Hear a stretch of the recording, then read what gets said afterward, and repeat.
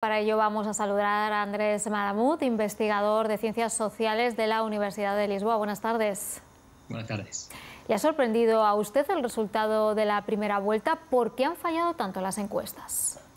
Fallaron la mitad. Lo que nosotros observamos es que el resultado de Lula es el que predijeron las encuestas, 48% más menos 2. El resultado de Bolsonaro es el que no supieron anticipar. Y esto ya resulta ser un fenómeno estructural, no brasileño porque también se equivocaron con Trump y con Brexit y con el referéndum de paz en Colombia. Así que observamos en Occidente una subidentificación, un subregistro del voto de derecha. En el fondo, Bolsonaro sacó entre 5 y 10% más de lo que se esperaba. Lula consiguió el objetivo. Pero la decepción viene porque la brecha es mínima y por lo tanto no solo tiene que haber segunda vuelta, tienen que votar de nuevo en cuatro semanas, sino que el Congreso queda con una minoría, primera minoría, casi mayoría, de derecha. Así que si Lula es presidente va a tener dificultades de gobernabilidad.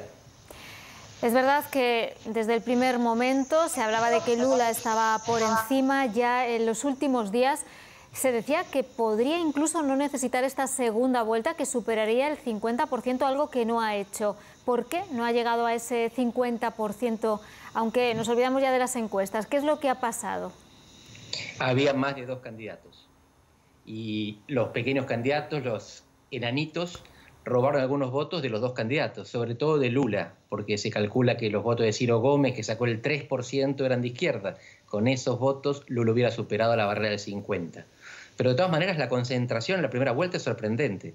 Brasil ya votó ocho veces desde que tiene esta constitución para elegir presidente. Y solo dos de las ocho, un presidente fue electo en la primera vuelta. Las dos veces fue Fernando Enrique Cardoso. Las dos veces que ganó Lula, las dos veces que ganó Dilma y cuando ganó Bolsonaro fue siempre en balotaje. Por lo tanto, la segunda vuelta es lo que tenemos que esperar. Eso nos sorprende. Lo que sorprende es la distancia reducida, la superelección que hizo Bolsonaro, a pesar del desgaste que tuvo en cuatro años de mandato.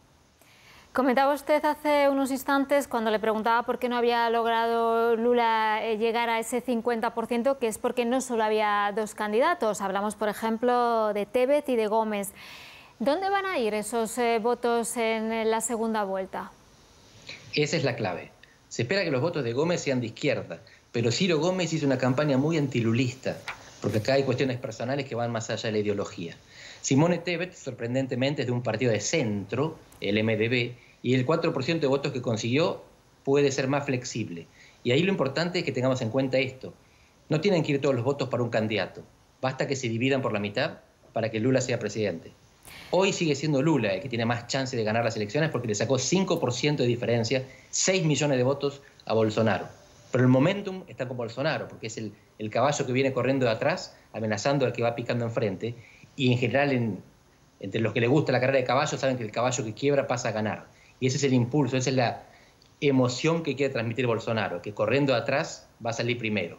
Lula tiene que calmar los ánimos y seguir como está, porque el problema lo va a tener después cuando tenga que gobernar con este Congreso y estos gobernadores y esa imagen que estamos viendo, esta gente que anda difundiendo armas, toda en contra. ¿Por qué Brasil es un país eh, partido en dos? Es un país partido en dos porque los votos así lo manifestaron, 48%, 43%, pero sobre todo porque esos votos esconden emociones. Y las emociones son profundamente antitéticas. Mucha de la gente que votó a Bolsonaro odia a Lula, y votó a Bolsonaro para que Lula no vuelva. Y mucha de la gente que votó a Lula odia profundamente a Bolsonaro y votó a Lula sin quererlo para sacarse de encima al actual presidente. Esto se llama polarización afectiva en la jerga politológica, no es polarización ideológica, no son programas de gobierno lo que están discutiendo, son identidades políticas y las identidades no se negocian. Por eso Brasil está empatado. ¿Qué papel ha jugado el voto exterior en los eh, resultados de Lula? ¿Y qué papel va a jugar en esa segunda vuelta? Ahí estamos viendo las elecciones en la Facultad de Derecho de la Universidad de Lisboa y el voto exterior fue simbólico porque manifestó un vuelco. En Portugal arrasó el bolsonarismo hace cuatro años y ganó Lula esta vez. Los brasileños que están en el exterior sienten la temperatura y la temperatura exterior no es amistosa para Bolsonaro. Bolsonaro no tiene buena imagen exterior. Pero en el interior de Brasil no se nota esto. En Brasil no se vota por la reputación internacional del país, porque a nadie le importa, es un país continente como Estados Unidos. Así que votan por cuestiones domésticas. Los votos en el exterior son pocos. Lo interesante es que están permeables, pero lo más relevante es que están aislados.